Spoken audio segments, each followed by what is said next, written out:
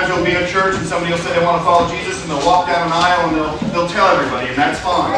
Uh, sometimes people say, well, I've been in Sunday school my whole life, and, and so I'm a Christian, and okay, well, that's, that's a good thing too. But the way that the New Testament says that we tell people, we tell the world that we're followers of Jesus is with baptism, obedience to baptism. We hear the, the gospel message, we repent of our sins, we trust in Christ, and then baptism, and then after that, you're added to the number of the saints, usually in a local body. And so today we're here to celebrate baptism. Now, I just want to be clear on this. Uh, we do not uh, teach or believe that baptism itself, this water baptism itself, saves you. That is not what saves you. Jesus saves you. Jesus' work on the cross in your place for your sins, his resurrection. That's the gospel message, and that's what saves you, Jesus. Faith in Christ. And so what happens is when we put our faith in Christ, we become new. We're given a new heart. And what happens is we receive the Holy Spirit of God. And as that happens, what we then do is we tell the world. Very similar to um, in our culture here today with marriage. You have a marriage ceremony, you make a covenant in front of others and God. This is what's in the Bible as far as how we have what we do with weddings and marriages. And so in our culture, we wear a ring, some of us, on our finger to show that we are married. If the ring comes off, I'm still married. It is a sign of this covenant that I've made with Heather. It doesn't mean that I'm, I'm not married if the ring's not there or if I never actually wore a ring. But it is the way that we tell everyone around us. And so the same is true with baptism. So there really shouldn't be followers of Jesus who aren't baptized. Uh, in the New Testament, it's normal. If you're able to be baptized, you are, because that's the, the next step of obedience. And so what we get to celebrate today is uh, our brother Barry here, who's been going through our new membership class. Him and Reenie have been coming together. Reenie, raise your hand. There's Reenie, his wife. And so they've been going through new membership, and Barry is here today to proclaim to all of you that he is a follower of Jesus. Amen? Amen. All right, brother, come on down.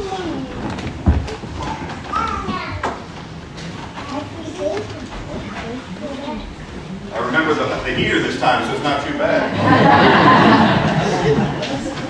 so now, like I said, I've been going through the new membership class for a while here, and so what we want to do is I'm actually going to ask Barry a few questions that he's going to respond out to you guys, and then I'm going to be asking you guys a question to respond back. So, uh, brother, do you believe that Jesus was born of the Virgin Mary? Do you believe that he lived a sinless life? Do you believe that he died on the cross in your place for your sins? Do you believe that after three days he rose from the dead? Yes. Do you believe that one day he is coming back to redeem us in the world and, and bring us to himself? Yes. Are you here to, today to proclaim that Jesus is the Lord of your life? Yes. Amen. Congregation, as this brother is making a proclamation that he's going to, he's, he's a follower of Jesus, going to follow Jesus all the days of his life. To the degree that you can, whether that's you, you visit every once in a while and you see him, or you're here at the church, do you now, will you affirm him in baptism and say that you will follow, you will walk with him, following Jesus all the days of your life? If you would, say amen. Amen. All right. I'm actually going to have uh, Ian, one of our deacons, come down as well. And what I love about this is when different people come to our church, and this is a story for many of you, when you come to church, usually you've met somebody outside that's invited you, they've served you, they've loved you, and hopefully that's it, it drawn you to come to our church. And so Ian and Hannah have been a part of Barry Reenie's life thus far, especially things around the hurricane and such. And so I've asked Ian to come in and join me in the baptism today. Okay? All right. Slide over here.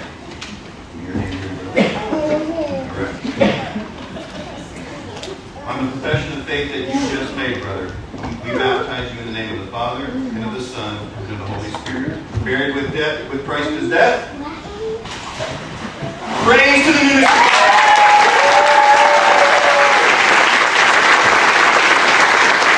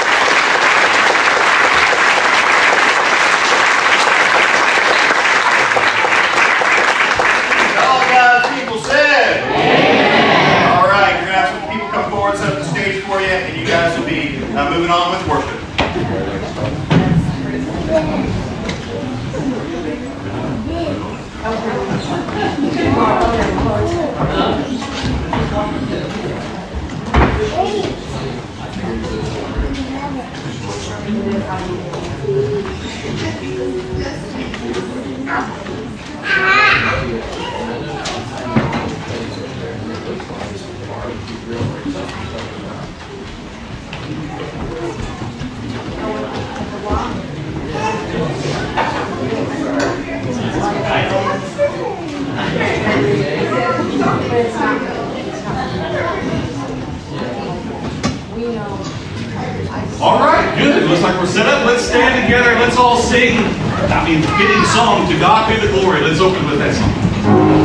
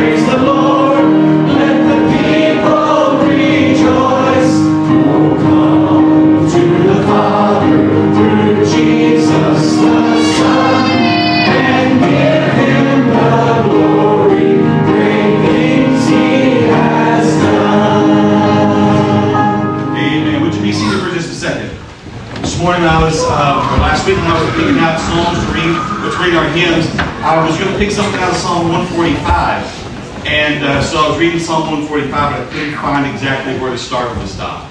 So I just said, well, hey, we'll just read the whole chapter. But I want you to stand the whole time. So you listen as I'll read fast. It's just 20 verses. He says, Psalm of David, he says, I will extol you, my king, my God and King, and bless your name forever and ever. Every day I will bless you and praise your name forever and ever. Great is the Lord and greatly to be praised, and his greatness is unsearchable. One generation shall commend your works to another, and shall declare your mighty acts. On the glorious splendor of your majesty, and on your wondrous works I will meditate. They shall speak of the might of your awesome deeds, and I will declare your greatness.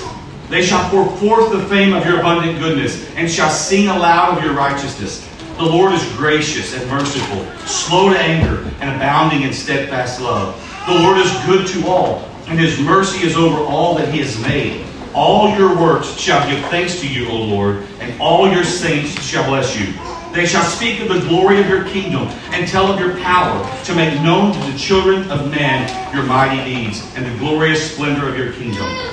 Your kingdom is an everlasting kingdom, and the dominion endures throughout all generations. The Lord is faithful in all his words and kind in all his works. The Lord upholds all who are falling and raises up all who are bowed down. The eyes of all look to you, and you give them their food in due season. You open your hand, you satisfy the desire of every living thing. The Lord is righteous in all his ways and kind in all his works. The Lord is near to all who call on him, to all who call on him in truth.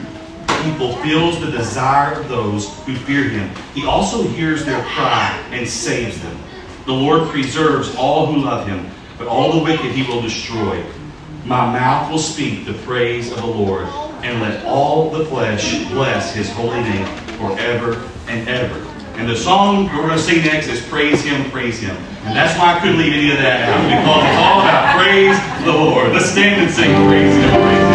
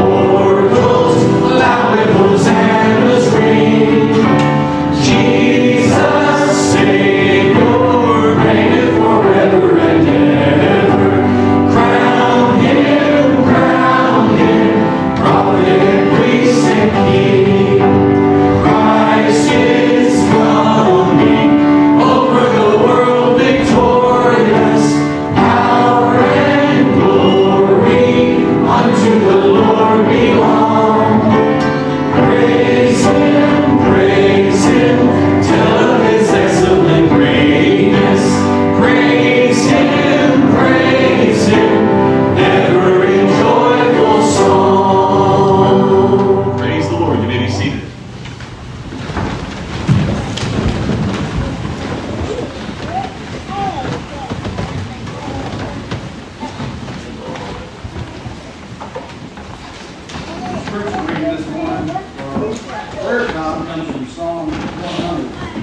Psalm 100, make a joyful noise to the Lord, all the earth. Serve the Lord with gladness. Come into his presence with singing.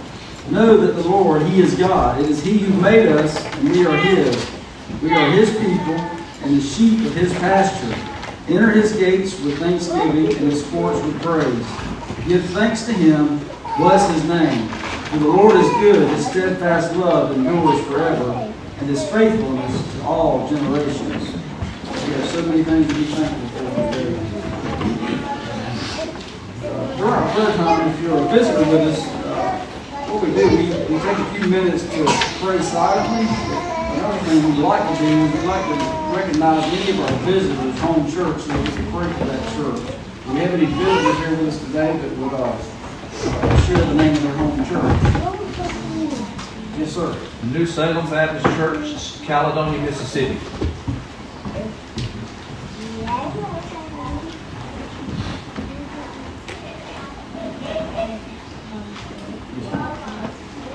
Hill Baptist Church in Gainesville, Georgia.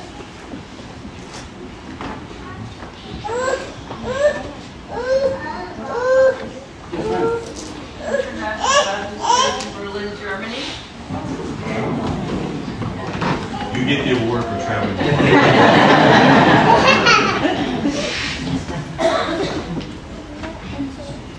Any others? We always want to remember Grace Christian Church, is Dean Hatchie. Miss Christie. Uh, Also, uh, be in prayer for First Baptist of Live Oak. They're searching for a uh, pastor.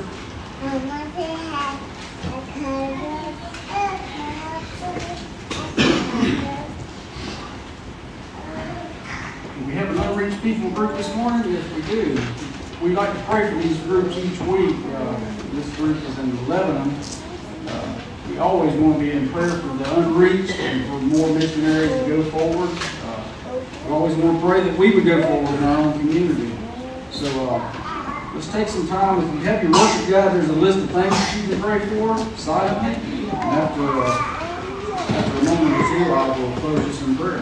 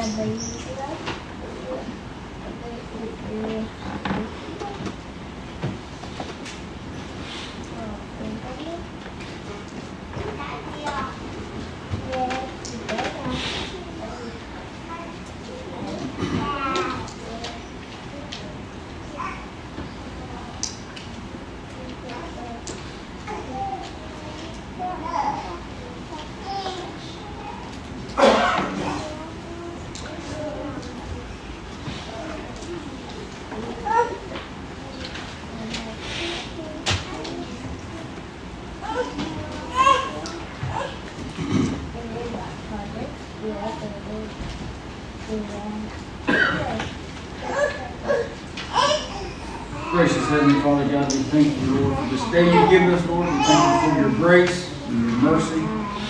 Lord, we thank you for our visitors who are here today. Lord, we pray that you would bless them, bless their churches, Lord. Be with the leaders of their churches. Help them be gospel preaching churches, Lord. Help them faithful the word. Lord, we lift up Grace Christian Church this morning. Lord, we just thank you for the work Brother Furlong's doing. We just pray your blessings upon them.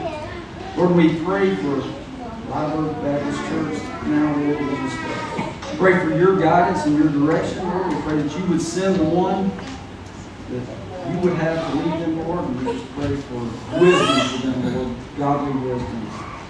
Lord, uh, just thank you for this church and our church family. Uh, just pray that we continue to be a light in our community, Lord.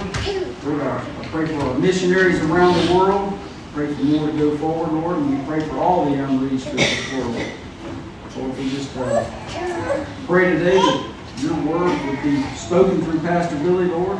Holy Spirit, illuminate your word. Help us to be doers and not hearers only, Lord. Help us to, to apply what we hear today to our lives. Lord, we pray that the remainder of this service is glorifying and honoring you. We love you because you loved us first. In Jesus' name, amen. Would you continue to praise the Lord with us by standing and singing?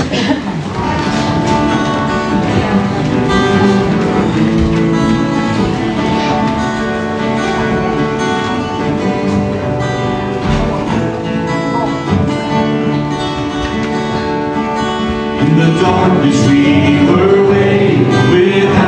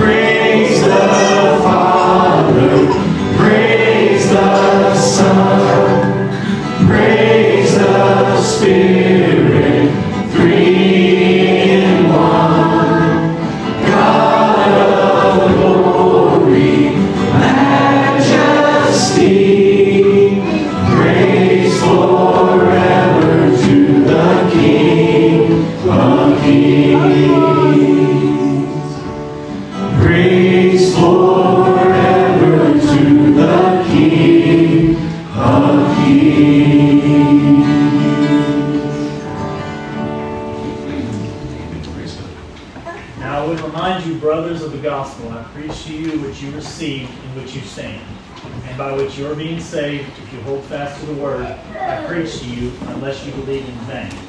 For I delivered to you as of first importance what I also received, that Christ died for our sins in accordance with the Scriptures, that he was buried, that he was raised on the third day in accordance with the Scriptures.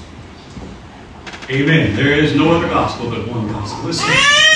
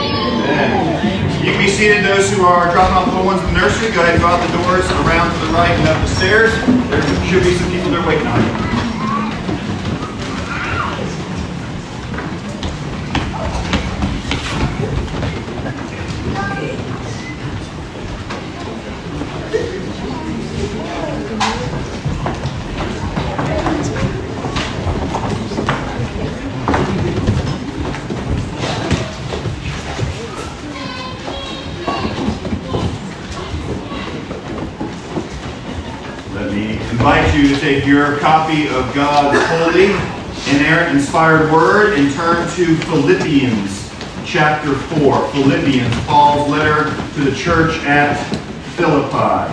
If you do not have a Bible uh, with you today, there should be a Pew Bible in front of you. I think it's around page 982. 982 in the Pew Bible.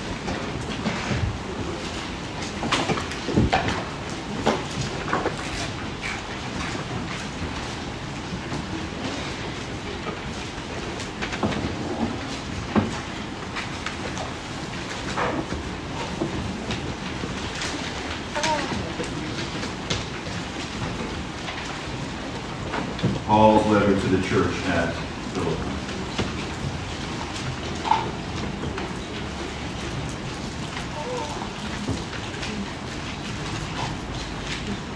For those who have been with us the last few weeks uh, or months, what we like to do is go through books of the Bible verse by verse, chapter by chapter, so that way we can understand the text in its proper context, understand the meaning, and then, by God's grace, apply it to our lives. Last uh, week we were in chapter 3 of Philippians. We went into chapter 4, and we talked about together what it means about straining towards the goal. The Apostle Paul himself says that he hasn't made it. He's not perfect. He hasn't reached it yet. But he keeps pressing on. He's going to press on to make Christ Jesus his own because Christ Jesus has made him his own. He then explains that you're to imitate others. He says to imitate him to the church of Philippi, and he says, imitate me and imitate others that he has been with. And part of what we talked about is our Christian walk, our Christian faith. Part of how God has designed it is you have the Spirit of God living inside of you. You're given a new heart. Your mind must be renewed. The Spirit renews your mind by the Scriptures. But sometimes it's hard to actually see those Scriptures play out and so he says you need to be a part of a community, a body of believers, so you can actually see these truths played out in front of you. Yes, we all know that husbands are to lay down their lives for their wives like Jesus does the church. What does that actually look like day in, day out? He says, go find godly men who have loved their wives for a long time and watch them closely. And to the degree that they follow Christ, you follow them.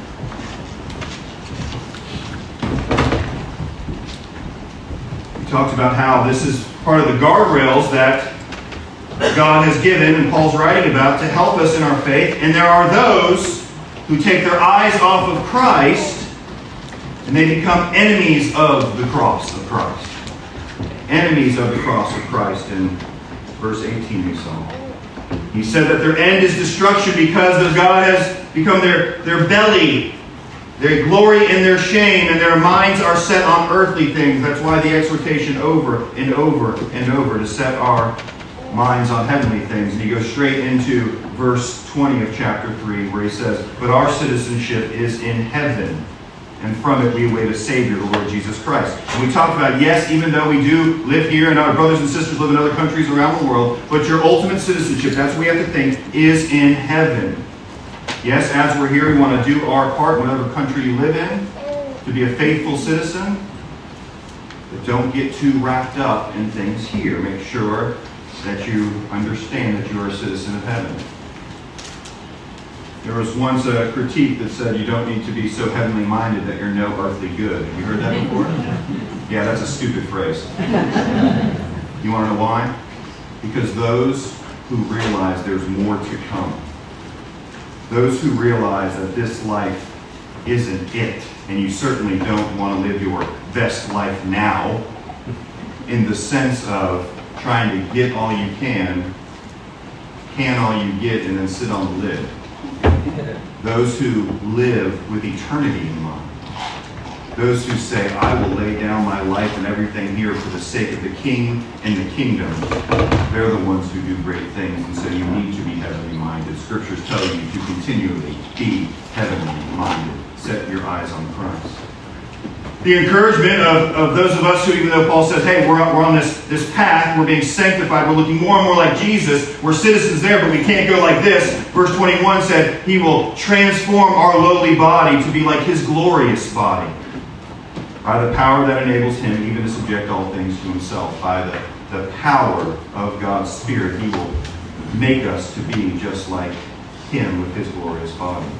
And then we, we transitioned a little bit to chapter 4 and looked at verse 1, and it really is a, connector from the previous section and the section we're looking at today. So I'm going to start reading in verse 1 of chapter 4, and I'll read the verses that we're going to cover today. Follow along with me silently as I read Philippians chapter 4, beginning in verse 1. Therefore, my brothers, whom I love and long for, my joy and crown, Stand firm thus in the Lord, my beloved. I entreat Euodia and I entreat Syntyche to agree in the Lord. Yet I ask you also, true companion, help these women who have labored side by side with me in the gospel together with Clement and the rest of my fellow workers whose names are in the book of life. May God bless the reading of his word. When I prepared the bulletin and thought about the sermon for this week, the plan was to go through chapter or through verse 9. As I meditated on these verses over and over and over again, I realized, oh man, there's enough there for us today. There's enough in verses 2 and 3 for all of us here today. Let me say this if you are a, a, a you're not a follower of Jesus, Maybe you thought this was a coffee shop and you popped in to get out of the rain. or you said, you know what, I'm curious about Christianity. I'm curious about Jesus, and so you've come today. Let me, let me say this to you first. As we walk through this passage, there is an idea of division going on in the church of Philippi. It's been addressed a couple different times in the letter already. He's had to, to encourage them to strive side by side for the gospel. Pride has gotten in their lives and they have been divided from one another. In chapter 2, he pointed out the humility of Jesus and all that Jesus gave up to come and to serve us. And so, thus, we should be able to serve one another. And so, if you're not a non believer here today, let me explain something to you. None of us, we have not arrived yet. We're not perfect. The unity of the church is vital but we mess up at times. They messed up in Philippi and in Corinth and in other churches. And so at times we need to be reminded. So if you're here and you're an unbeliever, let me encourage you, don't make a quick judgment here of, well, these people can't even agree on stuff. So obviously, Christianity is not true. No, no, no. There's a lot of times we disagree. The question is, how are we going to disagree? Are we going to disagree well? And are we willing to have our minds changed by the Spirit and Scriptures to be reconciled and still be one? We don't want uniformity, where everyone is exactly the same, thinks everything the same, talks the same way, looks the same. That's not what the body of Christ is about. But it is about unity with diversity, different ethnic backgrounds, different ages, different genders. There's two of them, if you're curious. we can come together for the sake of the gospel and be unified.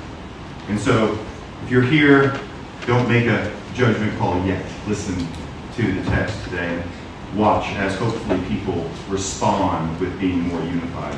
If you're a guest of ours and you're a follower of Jesus, but you're not of this church, I encourage you to listen closely as we go through the text. Take back with you whatever church you're a part of and make sure that you do all that you can to agree with others in the Lord. And if you are a leader from another church, let me encourage you to encourage your people to do the same. If you are not a member, but you've been coming here often, you're considering membership, and you say, ah, I, I, I want to become a member of this church, realize we're not going to settle for anything less than unity. Not at the sake of truth, but we will not settle for disunity in the church. It is unhealthy and it does not glorify God, so we're going to work hard at unity. And if you're a member of our church, listen up.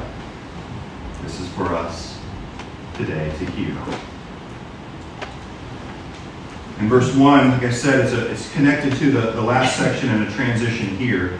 He says, Therefore, everything that he's already laid out in the first three chapters, my brothers, whom I, brothers and sisters whom I love and long for my wearing crown, he told them to stand firm. Stand firm on what? Stand firm on the gospel. The good news of Jesus. And thus in the Lord, my beloved. From this point forward, think about that. Think about being humble. Think about being followers of Jesus. And this is what it's going to look like specifically now. He's getting more specific in the text. So when he says he entreats Euodia and Syntyche to agree in the Lord. Now, notice this. I want to start verse 3 and then kind of go back to verse 2. Notice what he says here. At the end of the second half of verse 3, he says, These women have labored side by side with me in the gospel together with Clement. Apparently, they all know Clement at the church. Remember, this is to be read to the church in Philippi. So it's not like these two ladies are false teachers. They're not non believers that are going in and causing trouble. They really are kind of like pillars in the church in Philippi. We know if you go back to the founding of the church at Philippi, you had Lydia and other women who were involved in it, of course, the Philippian jailer, but other women were involved. Ladies, hear me carefully. You are a vital piece of the body of Christ, universal and local. These two ladies have had ministries. They perhaps on a church planting team with Paul. I mean, look what he says. They've, they've labored side by side with me in the gospel. They've been out traveling around, sharing the gospel, planting churches. They're not lightweights. They're mature in their faith. There's a problem. We know that they're believers. Why? Because look what he says at the end of the verse, and the rest of the fellow workers whose names are in the book of life. The book of life. I have a few verses for you today. I don't normally do this many verses, but you should have gotten some handouts. They hopefully will be on the screen if Caleb can keep up. But I print off the verses for you so you can follow along. We're not taking a bunch of verses and putting them in the text here. The point here is disunity in the church at Philippi. And so I'm going to be using text to show you that that's an idea throughout the scriptures that we should be unified. But first, I want to just give you a quick insight on this book of life. In Daniel chapter 12, we do the Old Testament, something from the Gospels, and then this is here in the general epistles, uh, Philippians. So I'll get, read a few out of Revelation as well. So out of Daniel, Luke, and then a few out of Revelation. Here's some things about the book of life. In Daniel chapter 12, at that time shall arise Michael, a great prince who has charge of your people. And there shall be a time of trouble, such as never been, been since there was a nation till that time. But at that time your people shall be delivered, everyone whose name shall be found written in the book. Many of those who sleep in the dust of the earth shall awake, some to everlasting life, and some to shame and everlasting contempt. And those who are wise shall shine like the brightness of the sky above, and those who turn many to righteousness like the stars forever and ever. There is a book that names are written in. Daniel's alluding to that book. In Luke 10, Jesus is talking and he sends out the 72 disciples, and not the 12 in particular, but 72 broader disciples.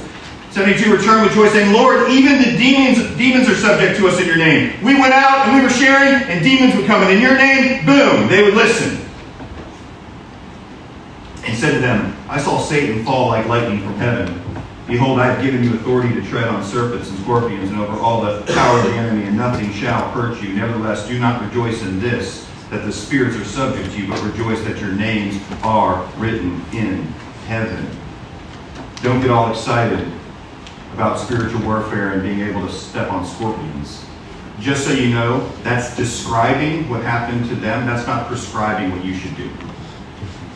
You don't need to go out in faith and try to handle snakes or scorpions or anything else. That's describing something. When we're interpreting Scripture, there's a difference between things that are being described for us and prescribed for us to follow. In Revelation 3, he's writing, John from Jesus, he's writing to the churches, the seven churches in modern day Turkey. In verse 4, he says this Yet you still have a few names in Sardis, people who have not soiled their garments, and they will walk with me in white, for they are worthy. The one who conquers will be clothed thus in white garments, and I will never blot his name out of the book of life. I will confess his name before my Father and before his angels. He who has an ear, let him hear what the Spirit says to the churches. A little further on in Revelation 13, then again in 17, the beast is mentioned. No, I'm not going to get into what the beast is today. That's not the point of the text. If you want to know about that, you go have coffee with Tom after the service, and he will answer all of your questions on the book of Revelation. In Revelation 13, it says this, And the beast was given a mouth uttering haughty and blasphemous words, and it was allowed to exercise authority for 42 months. Doesn't really matter at this point who the beast is, just realize when the beast is allowed to do things, that comes from the Lord. He is the one sovereign over all. It opened its mouth and uttered blasphemies against God, blasphemies, blaspheming his name and his dwelling, that is, those who dwell in heaven.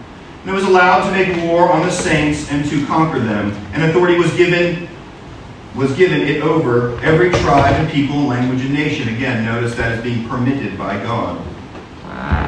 And all who dwell on earth will worship it. Everyone whose name has not been written before the foundation of the world in the book of life of the Lamb who was slain. Before the foundation of the world, believers' names written in this book of life. The same is true in Revelation 20. He says this Then I saw a great white throne, and him who was seated on it. For his presence, earth and sky fled away, and no place was found for them. And I saw the dead, great and small, standing before the throne, and books were opened. See, there's various books. There's this book, the Lamb's Book of Life, that your name is written before the foundation of the world. Those are those who belong to Jesus. There's the book of works, the things that we have done on this earth even perhaps a book of just the living and the dead, those who have ever lived, but not those who belong to the Lamb. Then another book was opened, which is the book of life.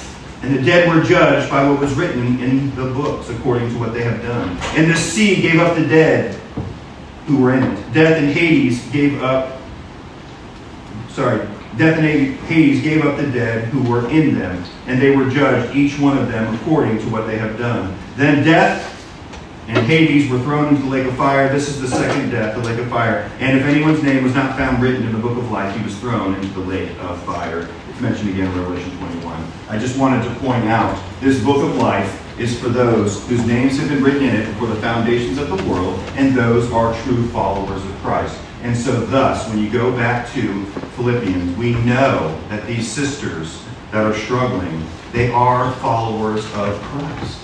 Clement is a follower of Christ. The other workers, Paul says, are followers of Christ. So back in our Philippians text now, we know that they are mature believers. They've labored with Paul in the gospel. Their names are written in the Lamb's Book of Life. But notice what he says in the beginning of verse 3. He's asking the true companion.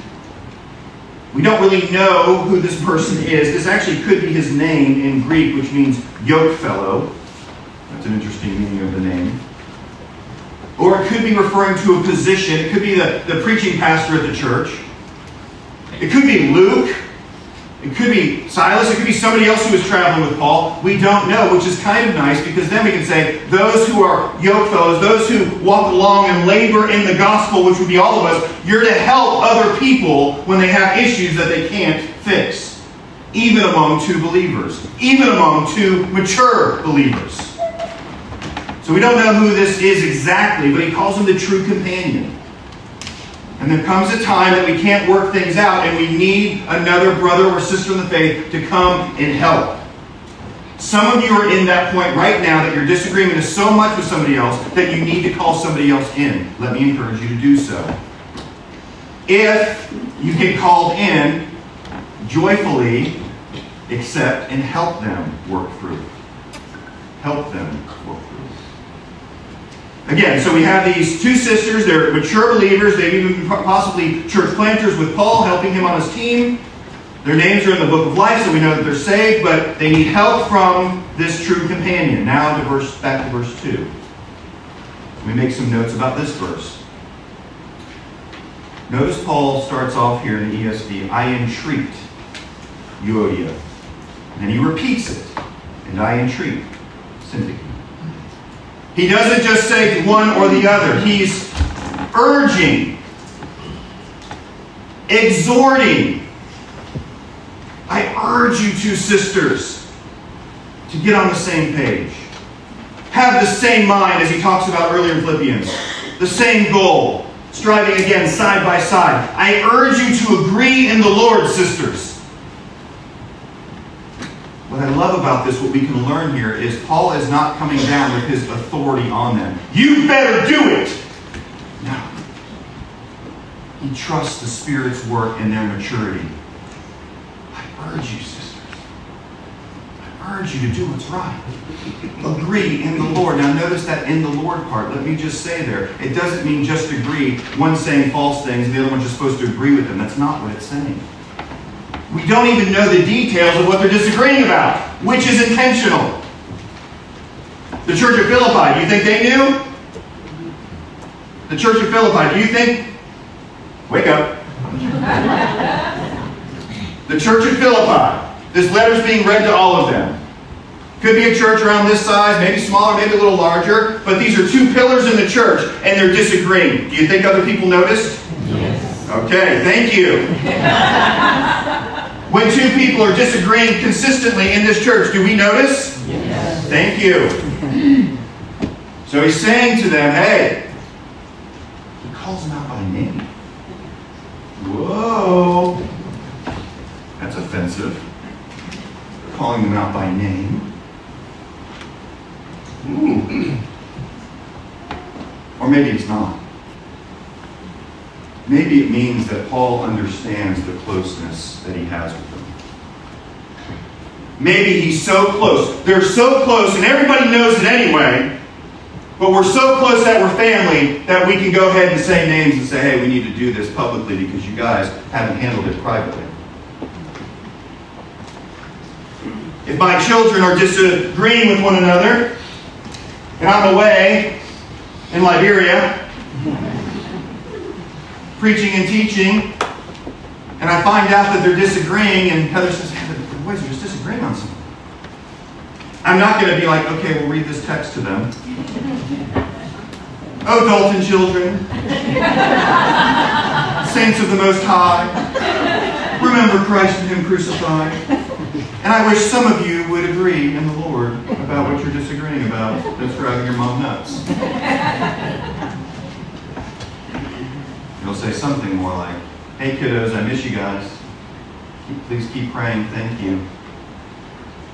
Mom mentioned, Caleb and Liam, that you guys are disagreeing. Let me encourage you guys. To fix it. You both are baptized followers of Jesus. Let me encourage you to fix it what's right. They're not going to go, what? You singled us out like that? I mean, they're saying that now, but that didn't really happen. that didn't really happen. That's an example. It wouldn't be weird. It's not weird for Paul. It's not weird for the church of Philippi because they actually know each other, they care for one another, and they're close. And everyone feels the division anyway in the church, whatever the division is. And that's what's beautiful here is the application is great for us. What are they disagreeing about? Some of you are like, I really want to know. Yeah, you got you got trouble with gossip. you don't need to know.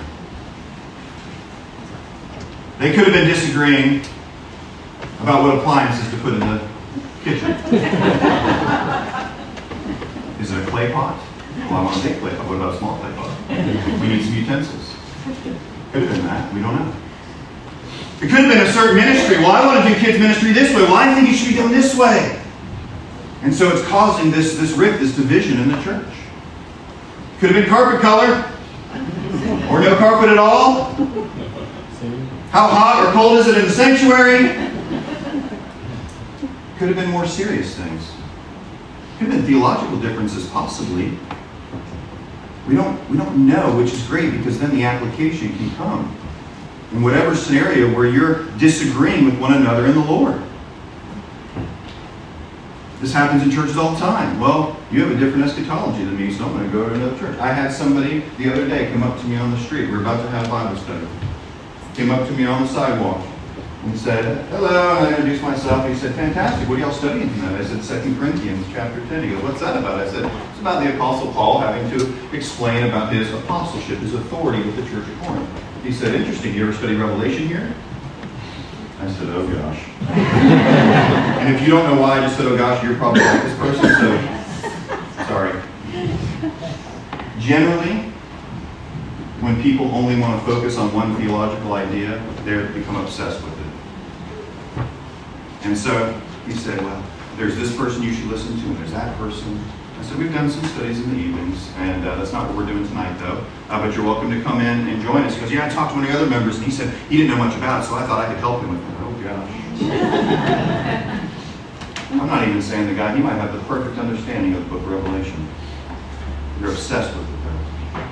And that's not what we're doing here. And so I'm actually thankful for that evening that he decided not to come to our service. Not because I don't like the guy, but it seemed like that was going to be a sticking point for him. I would have said something possibly like, well, the Apostle Paul, he has to tell the church at Corinth that he's an apostle. And he might have said something like, yeah, but what about the beast in Revelation 13? That's not what we're talking about. Even theological things can cause division. There's some things that need to divide. Doctrine will divide. That's true. But we have to make sure we understand what tier we're on somebody's in the church like, you know what, I just don't believe that Jesus is the Son of God. Well, yeah, we're not going to agree in the Lord on that. That's the in the Lord part, the truth. But once we get down to other doctrines, we might disagree. Will we still stay focused and unified on the gospel? Is the question. So he entreats, he urges these two sisters who are mature in the faith, agree in the Lord. I want to share with you again some more passages on agreeing in the Lord. On your notes, 1 Corinthians chapter 10, the Apostle Paul writing to the church of Corinth, he says, I, I appeal to you, brothers, by the name of our Lord Jesus Christ, that all of you agree, and that there be no divisions among you, but that you be united in the same mind and the same judgment. For it has been reported to me by Chloe's people that there is quarreling among you. My brothers, what I mean is that each of you, each one of you says, I follow Paul or Apollos or Cephas, or I follow Christ. He says, is Christ divided? The church should not be divided. Peter says, talks about this as well in 1 Peter chapter 3, says, finally all of you have unity of mind. Do you hear that? Unity of mind. Sympathy, brotherly love, a tender heart, and a humble mind. When you have great disunity, you have pride at the root every. It may manifest itself differently, but pride is the root. It's the mother, Augustine talked talk about as the mother of sins that gives birth to other sins. It's there. You can find it. As long as it's not on a true doctrinal issue. We're talking about these other things. He continues to say, Do not repay evil for evil or reviling for reviling, but on the contrary, bless. For to this you were called, that you may obtain a blessing. We read earlier in the service Psalm 133 that talks about how good and pleasant it is when brothers and brothers and sisters dwell in unity. Isn't that true? Man, when there's unity, it is so nice. I love getting to my office and there not being any messages or calls or texts about issues with other people. Oh, that doesn't happen often. You know why? Because we're fallen. We're sinners. Heck, it happens in our own families.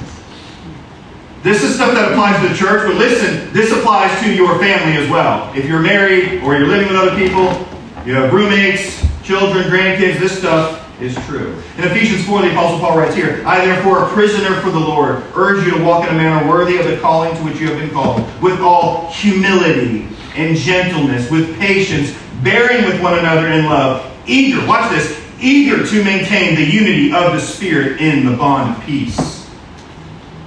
Are you eager to make sure that there's peace in your home, in this church, with others? Or do you just sit back and go, eh, it'll be? Uh-uh. Has to be intentional.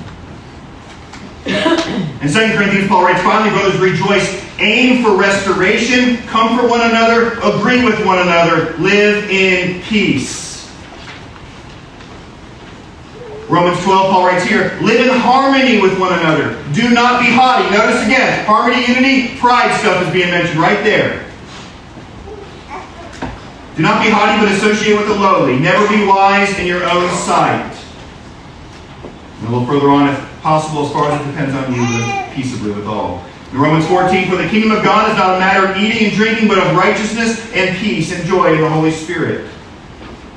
Whoever thus serves Christ is acceptable to God and approved by men. So then, let us pursue what makes for peace and mutual upbuilding. Listen to that word, pursue. You're going after it. I want to pursue things that build you guys up. I want to pursue peace. That means you don't run away when there's a problem. You run to Christ and to the problem to handle it. Don't run away. In Galatians 3, the Apostle Paul explains that there's no Jew or Greek or male or female, slave or free, but we are all one in Christ. 1 Corinthians chapter 12, the famous passage about the body. Many members of the body, but we are still one body. Now this is important. Watch this. John 13, 34 and 35. Jesus is teaching the disciples. He says this, I have a new commandment I give to you which is an old commandment with a, a new spin on it, if you will, that you love one another. Just as I have loved you, you also are to love one another. By this, all people, all people will know that you are my disciples if you have love for one another. That's how people know that you're a follower of Jesus. You're baptized, you proclaim it, and then you keep loving. If not, the world gets confused. There's some more verses on here that I would encourage you to read on your own. And I would encourage you to spend time in John chapter 17, the high priestly prayer. Jesus' high priestly prayer. Now we have the Lord's Prayer that he gives us as like a model. But then we get insight to the high priestly prayer. And what does Jesus pray for just before he's going to go away? We get it's recorded in Scripture. He prays for love and unity of the church. That all believers would be unified. And then he explains that it's this unity that we have, even though we're diverse, this unity that we have. Again, it tells the world that Jesus is from God. The reason it tells them that he's from God is there's no way this many people can get along. There's no way that this many people can continue to live life without running away from one another. There's not possible unless it's supernatural. And that's what Jesus is saying. It is supernatural. It requires being changed by the Spirit of God, your mind being renewed, dying to yourself, being humble, and loving people that you really have a hard time even liking sometimes. Be honest, you know that's true. It doesn't matter. You die to yourself for the sake of the gospel. Read John 17 when you're having issues. Read what Jesus is praying for you.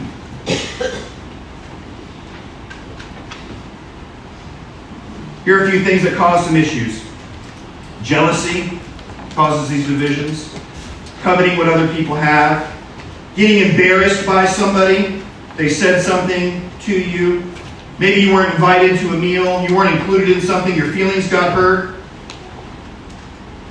As James 4 would put it, there's something that you want that you're not getting, and you see that other person as stopping you from getting what you want. This is where the divisions come in.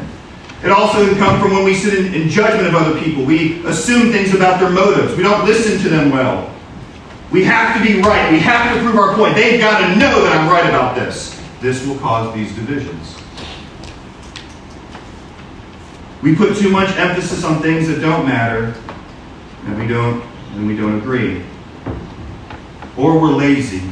We disagree with somebody, but we're not going to pursue them, and we're not actually going to dive into the Word of God to have our mind changed to see if we could have a different perspective. What if that was the case here? What if there's a difference between these two sisters? And Paul says, I entreat you, I urge you, sisters, to agree in the Lord. And one goes, Well, I'm not going to study the scriptures on that topic. I don't care. It doesn't work. Sometimes this division continues because of fear of man or love of man. I want people to think well of me, so I don't want to say anything. Or I'm worried about what that person's going to say. And it's usually involved with believing the worst about people instead of believing the best. So, how do we fight it? We need to remember what unifies us. We need to study the things that we differ on from other people and realize that you could be wrong. You could be wrong. We need to seek humility. We need to learn to communicate well. We need to ask a lot of questions and not ask questions just so we can respond, but ask questions so we can understand. Be able to articulate whatever the difference is in the other person, articulate it well. Make sure that you say, is that, is that what you're thinking? Is, is that your position? Is that your view in this scenario? If they say, no, that's not what I'm saying at all, then you listen again. But if they say, yes, okay, thank you. Now I understand, and let me tell you why I disagree. Use a mediator if necessary. Don't assume motives. Ask questions there. Believe the best about one another. Work on killing your sin, whether it's fear of man, pride. Ask the Spirit of God to search you and show you your sins. Seek forgiveness from people. Don't leave it undone. Please forgive me. And also extend forgiveness. And don't hold it over their head. When you forgive, it should be as far as the east is from the west in that sense. don't hold it over them. Remember the world is watching us, and remember this is all for Christ's sake and His glory. If we stay focused there, then we should be able to, like Euodia and Syntyche, agree in the Lord. Let me end with this.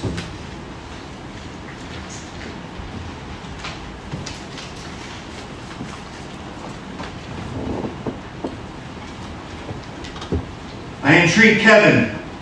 I entreat Danielle. I entreat Debbie. I entreat Eric. I entreat Alicia. I entreat Sabrina. I entreat Jeff. I entreat Reagan. I entreat Misty. I entreat Heather. I entreat Cindy I entreat Ken. I entreat Beth. I entreat Ashton. I entreat Julie. I entreat Jack. I entreat Judy. I entreat Shannon. I entreat Tom. I entreat Joni. I entreat Zach. I entreat Corey. I entreat Shanna. I entreat Mary. I entreat Nancy. I entreat Cindy. I entreat Jacob. I entreat Amber. I entreat Wayne. I entreat Anna. I entreat Karen. I entreat Savannah. I entreat Dee. I entreat Brent. I entreat Carrie and I entreat Lori. I entreat Doug and I entreat Barbara. I entreat Mary. I entreat Stephanie. I entreat James. I entreat Kathy. I entreat Jamie. I entreat Jenny. I entreat Mac and I entreat Barbara and I entreat Sandra. I entreat George and I entreat Alice. I entreat Phil. I entreat Nancy. I entreat Valerie. I entreat Tim. I entreat Wanda. I entreat Mary. I entreat Doug and I entreat Wendy. I entreat Lance and Amanda. I entreat Christian. I entreat Audrey and I entreat Faye. I entreat Tom. I entreat Ginger. I entreat Jeff. I entreat Brenda. I entreat Sue. I entreat Ian. I entreat Hannah. I entreat Justin. I entreat Mike. I entreat Cindy. I entreat Jim. I entreat Marcy. I entreat Parks. I entreat Amelia. I entreat Ed. I entreat Bobby. I entreat Billy. Agree with one another. For his glory, for our good for the good of our neighbors who are watching, for the good of our own souls. I entreat us to agree in the Lord. Let's pray together. Father, we do thank you for your word. We thank you for your grace, your mercy. Lord, we thank you for this passage. We're thankful, Lord, that you know that we are fallen humans and there will be disunity. But Lord, we're thankful that Jesus has prayed that there would be unity that we would love one another and be one as the Father and the Son are one. The Father and the Spirit, one, and the Son and the Spirit, they are one. And so, Lord, we pray that we would be one. So help us to follow your commands and be a unified body who can serve you and serve others. We thank you in Jesus' name. Amen. I'm going to have Jeff and Ian come up. Two of our deacons going to help serve the Lord's Supper, and we're going to have Jacob come as well. What we're going to do now is take the Lord's Supper. If you're a guest of ours, we, the two ordinances I mentioned before, we got to have a baptism this morning, praise God. And now we have the Lord's Supper. We take this every week as we feel that's what the Lord would have us do. We don't necessarily every church has to do that, but that's something that we do to help this unity factor. To help this unity factor. So let me encourage you, if you're a follower of Jesus, you're a baptized follower, you're in good standing in your church, you're going to be welcome to take the Lord's Supper with us. If you're not, let me encourage you, do not take the Lord's Supper today. If you're a non-believer, then watch this. This is this is us proclaiming the Lord's death. This thing, the things that I was just preaching about. Let me also encourage you that if you are a follower of Jesus and you were just listening and the Spirit was convicting you, you're saying, oh man, I need to be right with somebody. Let me encourage you during these few moments, you can go to them and do that now. You have to hash out the whole thing, but you can say, hey, forgive me, I forgive you, let's talk about this later. If they're not here, then just be resolved to do that in your heart and then still take the Lord's Supper. We're going to prepare things up here for you. Take a few moments now, ask the Lord to search your heart while we do this.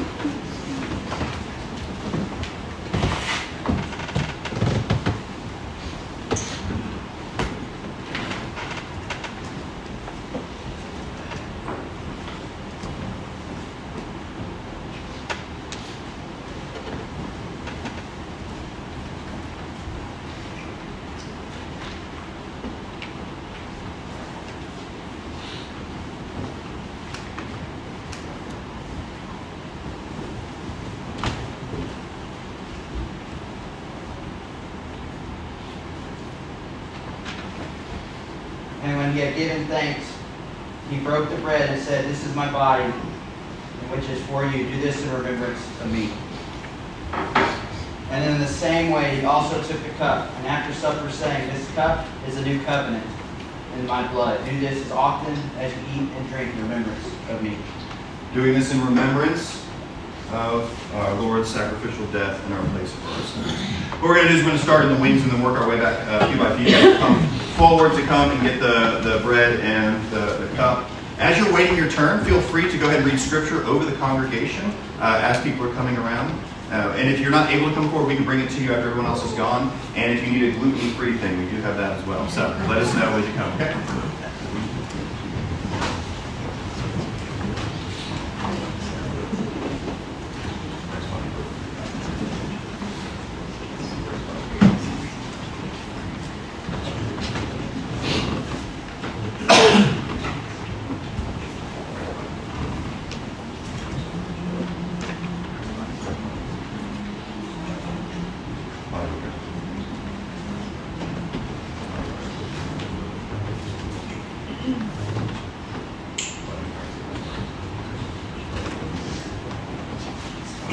Therefore, since we have been justified by faith, we have peace with God through our Lord Jesus Christ. Through him we have obtained access by faith into this grace into which we stand. And we rejoice in hope of the glory of God. Not only that, but we rejoice in our sufferings, knowing that suffering produces endurance, and endurance produces character, and character produces hope. And hope does not put us to shame because God's love has poured us into our hearts through the Holy Spirit who has been given to us.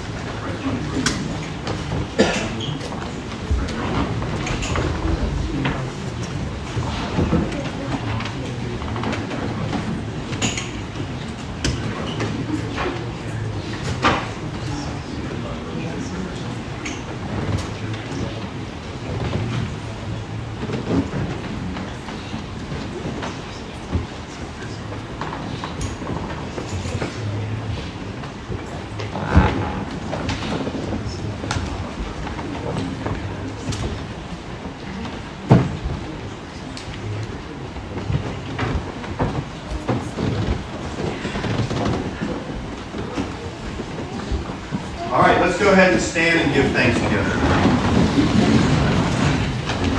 Sing. Give thanks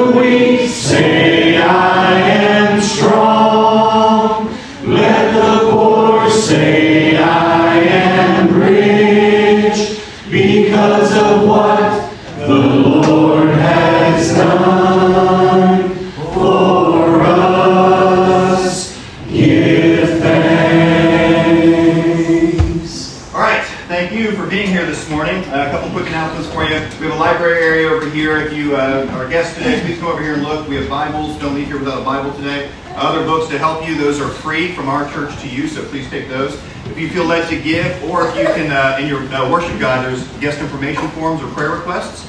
You can tear those out and drop those in the boxes before you leave today, or you can give online as well. Uh, we do have biblical counseling training today at 2. It's going to be on the topic of anger, and it is open to anybody who wants to attend. And so if you think you're an angry person, come. If you don't think you're an angry person, come. Ask somebody else, do you think I struggle with anger? The answer is going to be, yes, you do struggle. We don't know how much, so come and find out today at 2 o'clock. There's elders meeting at 4.30, Bible study tonight at 6. Next Sunday, we do have our fellowship potluck meal. It's going to be directly after the service. So everyone is invited to that, not just members. Everyone's invited to that. And I think that's all I have on your announcements. Uh, Brother Barry, would you come up here, please? This is a certificate of baptism for our brother in Christ here. And uh, after the service, after Brother Doug reads a blessing over you, I want you guys to come forward and extend the right hand of fellowship to this brother, okay? All right, Mr. Doug, if you would him who is able to keep you from falling and presents you before his glorious presence without fault and with great joy, to the only God our Savior, be glory, majesty, power, and authority through Jesus Christ our Lord, between all ages, now and forevermore. Amen. Amen. Have a blessed day, everybody.